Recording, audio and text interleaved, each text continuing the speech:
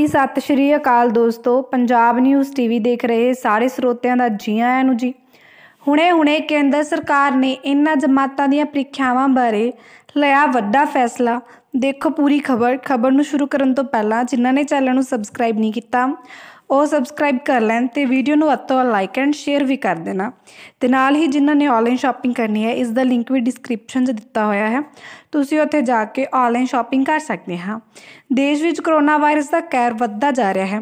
Corona virus ਦੇ ਵਿੱਚ ਵੱਧ ਰਹੇ ਸੰਕਟ ਦੇ ਵਿਚਕਾਰ ਭਾਰਤ ਸਰਕਾਰ ਨੇ ਸੀਬੀਐਸਈ ਇਮਤਿਹਾਨਾਂ ਬਾਰੇ ਇੱਕ ਵੱਡਾ ਫੈਸਲਾ ਲਿਆ। ਸੀਬੀਐਸਈ ਦੀਆਂ 12ਵੀਂ ਦੀਆਂ ਪ੍ਰੀਖਿਆਵਾਂ ਮੁਲਤਵੀ ਕਰ ਦਿੱਤੀਆਂ ਗਈਆਂ ਹਨ। ਜਦੋਂ ਕਿ 10ਵੀਂ ਦੀਆਂ ਪ੍ਰੀਖਿਆਵਾਂ ਰੱਦ ਕਰ ਦਿੱਤੀਆਂ ਗਈਆਂ ਹਨ। ਬੁੱਧਵਾਰ ਨੂੰ ਪ੍ਰਧਾਨ ਮੰਤਰੀ ਨਰਿੰਦਰ ਮੋਦੀ ਨੇ ਸਿੱਖਿਆ ਮੰਤਰੀ ਅਤੇ ਮੰਤਰਾਲਿਆਂ ਦੇ ਅਧਿਕਾਰੀਆਂ ਨਾਲ ਮੀਟਿੰਗ ਕੀਤੀ, ਜਿਸ ਵਿੱਚ ਇਹ ਫੈਸਲਾ ਲਿਆ ਗਿਆ। ਇਸ ਤੋਂ ਇਲਾਵਾ ਕਰੋਨਾ ਦੇ ਪ੍ਰਕੋਪ ਦੇ ਵਿਚਕਾਰ ਬੁੱਧਵਾਰ ਨੂੰ ਮੱਧ ਪ੍ਰਦੇਸ਼ ਵਿੱਚ 10ਵੀਂ ਤੇ 12ਵੀਂ ਦੀਆਂ ਜਮਾਤਾਂ ਨੂੰ ਮੁਲਤਵੀ ਕਰਨ ਦਾ ਫੈਸਲਾ ਲਿਆ ਗਿਆ।